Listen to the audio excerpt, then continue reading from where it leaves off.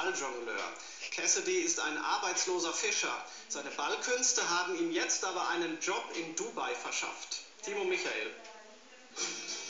Er ist vielleicht der letzte echte Straßenfußballer Europas. Auch wenn Andrew Cassidy ein paar Kilo zu viel mit sich rumschleppt. Der Ball ist sein bester Freund, seit er sich nach einem Schicksalsschlag täglich dem runden Leder widmet. Ein Freund von mir, mein Mitbewohner, ist vor kurzem gestorben und ich musste die Trauer verarbeiten. Außerdem wollte